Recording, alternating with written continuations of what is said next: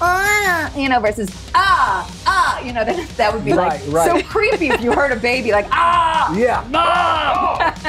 That's a Right. Yeah, that would be ridiculous. It'd ridiculous. be Baby Yeah. Hulk. That's mom, on some milk. Turn it up. Get ready. You're tuned in to VO Buzz Weekly. Weekly. And now, prepare to get seriously buzzed with your hosts, Chuck Duran and Stacey J. Aswad. So Amy, so Yeah. so alcohol, you know, a little bit here and there is fine. What about other liquids before maybe going on a job, like either voiceover or singing, like milk or chocolate milk or orange juice or apple juice or uh, caffeine? Any of those good or bad before a gig? Yeah, so caffeine, I won't wake up without it. But I'll also have some water too because caffeine, A, it can give you reflux and it's drying, the Mm. same as alcohol. But Mm-hmm. too much, you're not going to be so loud and belligerent, right? Right. Um, orange juice can be acidic. Sugar in apple juice can almost cause your saliva to feel like it's drying up. Milk can cause you to have more mucus and thicker mucus. Right. Not everybody though. So before a job, you know, before a job, really know what you feel like when you have something. Right. Water's going to be the best. Sometimes people like to put a little tablespoon of glycerin in their water just to make it a little slippery, slimier, Yeah. so you don't get a lot of mouth noise. Yeah. You know, and that's Yeah, a nice, yeah. nice little trick that Yeah. people Do you can have a thought on the temperature of the water? Oh, I was just gonna. Hmm. Great minds. Okay, go ahead. So, freezing cold can cause your muscles to tighten a little bit and just cause it to feel a little uncomfortable. Too hot can cause it to burn and be scalding. So, you don't want to do that. Lukewarm is good. Sometimes you're like, I just don't want to drink lukewarm water. Yeah. So, having it even just room temperature is probably best. Right. Um, if you want to have the steam of hot water, that's the one thing that can touch your vocal folds is steam. Mm-hmm. The one thing. So if you don't have a steamer, you can just Yeah. get some hot water in a mug and breathe it in a little bit. Yeah. Take some warm sips. You know, Yeah. let it cool down a little Make bit. some in your mouth. hard boiled eggs Yeah. and then Oh my That's gosh. right. use the water that you No, already the so- egg boiled. water. Yeah, so I was doing that. No, because he's because he's he's he's out of me because I, I when I can't when I see steam I, I can't let it go to waste. so I was boiling eggs for him, and I was like over the steam. Oh my like I wish that's you could funny. see. It was fantastic. It was Yeah. Except for the fact that now you smell like eggs. Yeah. You get a little sulfur smell in your hair. I don't know Yeah. how long that takes to Yeah. get out. Um, what about other substance like you know marijuana, Mm. for example? I mean, I know a lot of people out there Mm-hmm. smoke. Is how does that or the ed, or edibles too. yeah, Yeah, edibles. So that's biggie in Los Angeles because now it's legal. Yes. Yeah. So everyone is smoking these days Mm-hmm. or taking some sort of THC or cannabis or CBD Yeah. oil or whatever it is. Yeah. So s- cannabis is what we call a vasodilator. Mm-hmm. And that means your veins dilate. So if you look at eyes, they're all red, right? And that's because your veins dilate. Same thing happens in your vocal cords is your veins dilate. So you'll hear it in your voice that your voice kind of gets a little bit like this. Mm. Everything's a little bit more relaxed. So you're not supporting one. Your veins are dilating two. You get cotton mouth, number mm-hmm. three, and that's with all cannabis. Now, if you smoke on top of that, then you can have that throat hit. Like cigarettes or No, s- well, that's a whole thing that Well, I, s- I never yeah, say smoking cigarettes is good for your voice, but Okay. I'm saying smoking any sort of cannabis. Right. So if you smoke it, then that hit on your vocal folds can cause more of that irritation. Yeah. But edibles themselves can still cause the cotton mouth, can cause the vasodilation, can cause the reduced uh, support that you Yeah. need for your Yeah. voice. Yeah. So, and all that goes with CBD as well. And CBD is the non psychoactive Yeah. part of mm-hmm. cannabis. So, Yeah. a lot of people are taking it to sleep or taking it during the day to calm down. And I don't say don't. And I don't say don't do any sort of cannabis at all. If you're going to do it, just don't do it while you are working, while you're speaking, while you're singing. Right. If you want to do it at night when you're sitting on the couch by yourself eating, you know, Funyuns used to be the thing that we used to say. I don't know if anybody eats Funyuns anymore, but like eating kale Funyuns chips, are yeah, crunching on kale chips in LA with Kale chips. you know, On gluten free potato chips. that's right. That and you're gonna sleep. That's fine. You know, and in the morning you should be fine as long as you don't have that feel of the cotton mouth, which is really Yeah. drying. Yeah. Yeah. And again, you can drink a lot of water to help you not feel that way. and but- and if mm-hmm. you have a super super cotton mouth, dry mouth, your your vocal cords are dry. Is there a, something? Is is that uh, a, a problem, a physical problem, if you constantly have like dryness of the cords or dryness of the Yeah. mouth, or it, it can it be fixed or? I mean, it depends on why you're dry. Do you Right. have an actual salivary problem? Is there an issue with your salivary gland that you're not producing? Are you dehydrated? Not Is drinking that, enough you know, water. are you just Yeah. not drinking Because enough most water? people are dehydrated and they because they think, oh, I'm not thirsty. Well, by the time you're thirsty, that's you're dehydrated. really right, right, right, right. Yeah. I remember I ran a marathon and they said never ever be thirsty. You need to be drinking so much water. If you ever get to the point of thirst, you're in trouble. Yeah. Right. So you have to keep drinking, and it's the same thing. You know, shoot for a gallon a day. You're gonna feel like all you're doing is drinking water Mm-hmm. Yeah. and going to the bathroom. Yeah. Yeah. For probably the first three weeks. Yeah. Mm-hmm. You know, because it just takes that long to take all that water in and it's a focus it's a job Yeah. you know but really when you're using your voice as much as we are it's necessary Well, then everything functions better. Your brain functions better. Everything, everything needs your water. body you can Yeah. sleep better you can lose weight better you can Yeah. just you feel better you look better your skin's glowing everything's better Yeah. Your better, your voiceover skills become better. Yes. yeah You can your math read- skills become better you read somehow copy You get better. more jobs when you drink more water. That's right. You don't book mess up. more. yeah, right. So obviously, some people live in LA, and some people don't. So Mm-hmm. I, I know some of you, what you do can't be done virtually, but Mm-hmm. voicelabla.com, they can reach out to you, and you can give them some advice. yeah i can do skype Mm-hmm. if it's appropriate and i'm very quick to tell you if it is or not Yeah. you know so you can email me and tell me you know this is my problem is this something that i can work on from Skype, from wherever I am, or do I need to be there in person? I like in person better always. Right. But Right. sometimes there's somebody, depending on where you are in the country, there can be a lot of people that I'm happy to refer to. Right. Yeah. Okay. So obviously, everyone's aging as we speak, um, and your voice is too. Mm-hmm. Um, what What can you say about the aging voice and how to keep it healthy and keep it optimized? Right. So, with the aging voice, different things can happen. First of all, aging, we all do it, as you said, it, you're losing elasticity. The same mm-hmm. way I'm losing elasticity here, here, here, here, everywhere. It's like sagging a little bit, just being honest. But your vocal folds are also losing elasticity. So they're not as bounce backy as they once were. That's a technical term, by the way, bounce Of backy. course, yes. Yeah, you can find it and Totally on on WebMD. It's, on there. Wiki- Wiki. It's there. Just dig deep. just dig deep. It's there. Yeah, bounce it's- backy. I saw it on Wiki.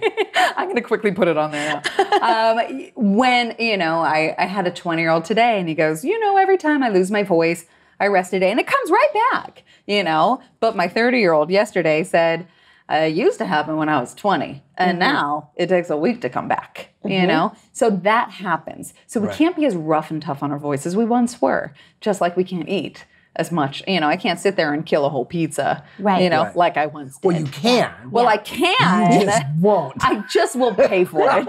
I can, and sometimes I will, but I will have to pay a lot harder yeah. than I used to when I was. So, I mean, to personalize it to people who use their voice, especially voiceover, where mm-hmm. sometimes you're screaming Yes. like crazy, you're doing ADR, you're doing c- character voices that are maybe not in your normal placement. Yeah. Well, you know, so we also have to work with our voice. As women age, our voice gets lower. Yeah. As men age, your voice gets higher. Hmm. You know, so we have a nice little switch going on. Mm-hmm. So we kind of have to work with what we got at the time. You never want to push it to a place that's not normal, but you do want to keep and maintain the strength of your vocal folds, the strength of the surrounding muscles, the strength of the support.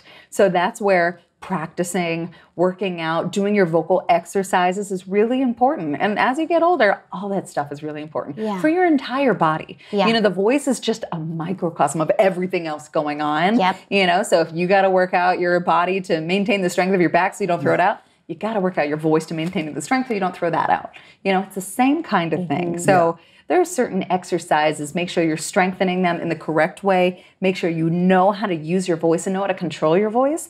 That's one thing I'm really into is Right. learning the anatomy, learning the physiology, and controlling the small little muscles that we don't even know exist Yeah. until we actually study that. Yeah. You know, my voice got so much better once I actually went to grad school Mm-hmm. and learned all the different muscles and different, you know, physiological movements. Yeah. When, oh, that can do that. Let me practice that. Yeah. You know, let me figure that out, how to make that sound, how to create it. Yeah. And then from there, I was able to control my voice in a way that I never was. Yeah. And so that's a big part of what I like. Yeah. Is the exercise Uh, the vocal exercise is it gender specific or is it unisex? Sometimes, sometimes not. So sometimes it is, but it'll just be similar, but in a different way. So if I have a woman do something on a certain note, I'm going to have the man do it a little lower if that's where Right. his register is. Right. Right, right. You know, How does someone know when or if they need to see you or someone like you? they have a problem. Mm. They have a problem that doesn't go away. Okay. And usually they'll see a voice doctor and they'll say, uh, see a speech therapist. Mm-hmm. Yeah. You know, and that's when they'll find me. Yeah. And they go, uh, I don't know. Yeah. yeah. You know, What about, and you kind of touched on this, but I just want to kind of finish this because I, I know people that have this problem. Um, you're getting older. Maybe you're maybe you're in your 50s, 60s. Um, you're still voicing, but you're noticing that your voice is getting a little shaky now. And can that be fixed? yes. Yes. Yes. Huh? I got your backs. You got it. You got it. Yeah, you know, it's um sometimes it can. If it's a, a tremor, like an essential tremor, Yeah. that's a little tougher. You know, sometimes that is harder to fix, and you hear those whole Yeah, exactly. you know, that is a little harder to fix. And Yeah. sometimes a tremor is a tremor, and that's just going to stay there. Yeah. Um, there are other neurological diseases like Parkinson's that can cause something like that as well. Or there's a weakness, and there's a weakness that you can start to train out of.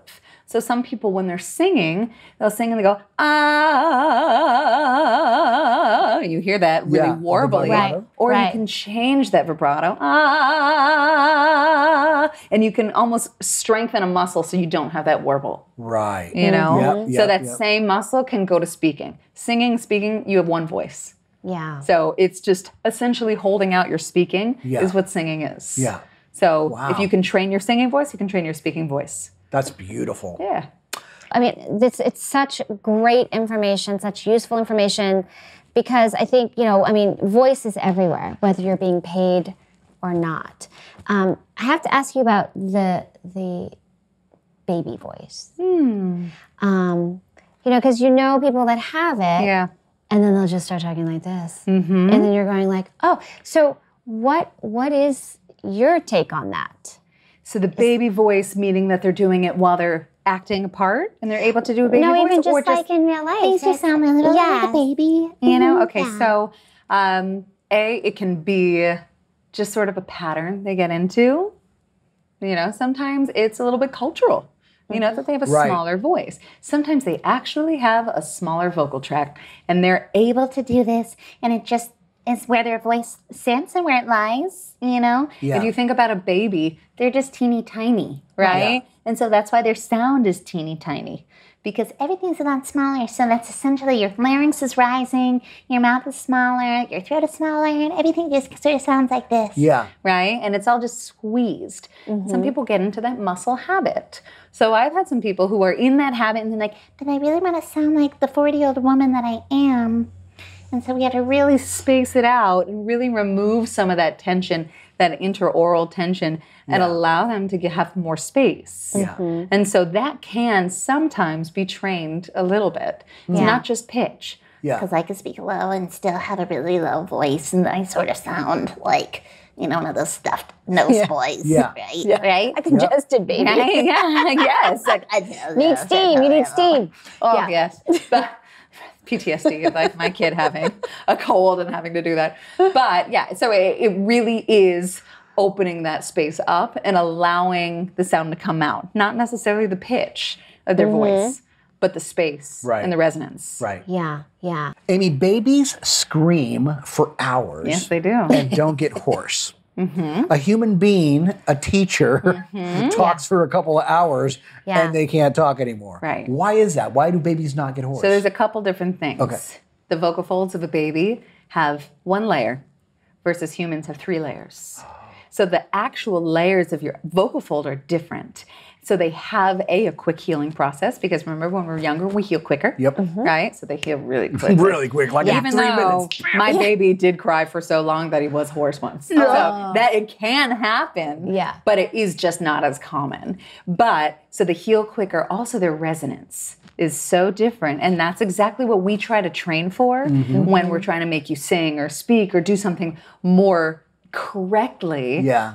And to have more of that resonance and that constriction in the right place that reduces the tension. They're going, ah, ah, ah, you know, versus ah, ah, you know, then that would be Right, like right. so creepy if you heard a baby like ah, Yeah. mom, That's what we're yeah, that would be ridiculous. It'd be ridiculous. baby Yeah. Hulk. That's mom, on some milk. You know, that would be terrible. But they, they're like, "Ah, ah." you can hear that like constriction in the back of my throat, Yeah, yeah. and that opens the space of the vocal Mm-hmm. folds.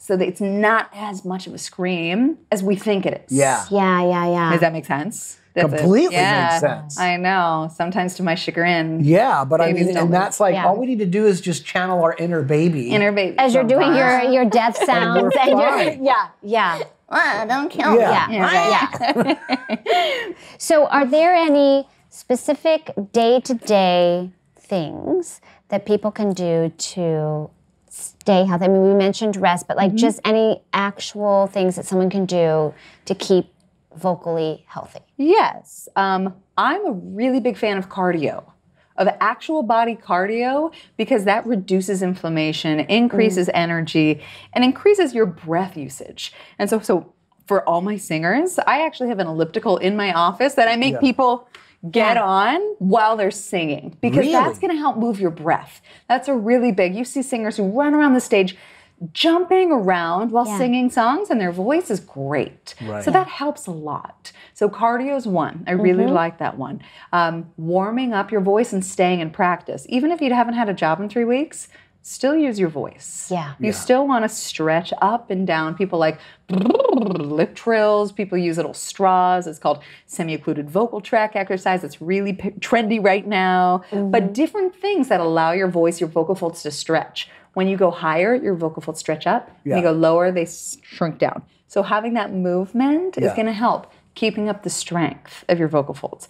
So singing, speaking, doing whatever you do, keep it up on a daily basis. Mm-hmm. And that's going to help even if you haven't worked in a month, even if you're not going to work for another 3 months. Yeah. Give yourself a little bit of a rest, but at least 20 minutes of voice use a day. Of professional voice use, of Yeah. practiced, Right. trained voice use to stuff. help. Yeah, targeted stuff. And be mindful while you're doing it. Don't just like walk in the house going la la la la la la da, da, la la la la la. You know, I want you Yeah, to you think really about got to it. feel Yeah, the, focus. the You wanna actual feel it. exercise. Mm-hmm. Yeah, Yeah. you want to feel it. You want to focus. Like, how is this feeling? You know, you really want to focus and be mindful about Yeah. it. Mm-hmm. It's very meditative too.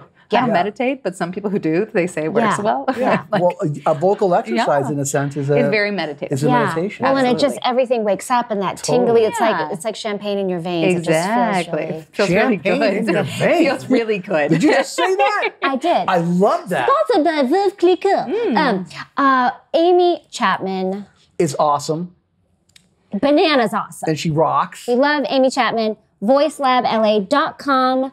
Reach out to her. Thank you so much for course. sharing Yes. your Thanks for having me. beautiful Our wisdom. This is an ego boost and a lot of fun. My Oh my Goodness gosh, you're always welcome here. Oh my gosh, Um, we're gonna put you on the spot. Tell me. Oh, a fun Oh, thing. she's gonna love this. Just pick game. a You may not know the answer to this question. though. Any card. Okay, okay, okay. Hmm. Hmm. Interesting. What steps could you take in the future to achieve a happier you? Hmm.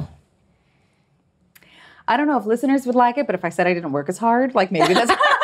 Ooh, no, no, we won't do that. Uh, sometimes, but there's so much You're truth in that. have- but there's so much I'm sweating. I'm too excited. You're There's allowed to lot of rest too. You're allowed to have a rest too. Um, you know, uh, really balance. I think is really important. Yeah. yes. You know, balancing family, friends, having fun while you're still doing that, and I think that goes with all the artists too, because Yes. especially if you're doing well, you want to keep doing well, and you want you're on a roll, and you want to Yeah. keep going. Yeah. But sometimes you really need to stop. Yeah. Yeah, you have to refill the coffers Yeah. Hundred percent. Yeah. And so I would say that full balance. Yeah. Even if it slows down your career just a little bit, you're going to be much happier Mm-hmm. Yeah. when it when Yeah. it then goes. Yeah. So don't call Amy tomorrow. Let her have the day Yeah, off. let her have a day off. Maybe wait a I couple I love of that. days. The ever evolving quest of balance. Yeah, That's beautiful. always. Yeah. Always. Amy Chapman, you are amazing, and thank you so much for True all that story. information. Thanks for having you guys are lucky you got to see her telling you about all this good Yes. stuff, huh? That concludes our second part Yes. with Amy Chapman. We're going to be back next week with a whole new episode for you guys, so check it out. Yes, follow all of us on social. We love you guys. Thank you so much for watching. And just remember, You always have time for a little buzz. I am Amy Chapman, and I just got buzzed with Chuck and Stacey. And you can find me at Voice Lab LA or follow me at Amy Chapman on Instagram. And just a tidbit, you got one voice, so treat it well, all right? Come on, come on, come on and get buzzed with us. VO Buzz Weekly is sponsored by Chuck Duran's Demos That Rock. Rock. The voiceover demo producer to the stars is now available to you. Visit demosthatrock.com and take your voiceover career to the next level. See you next time. And remember, you always have time for a little buzz.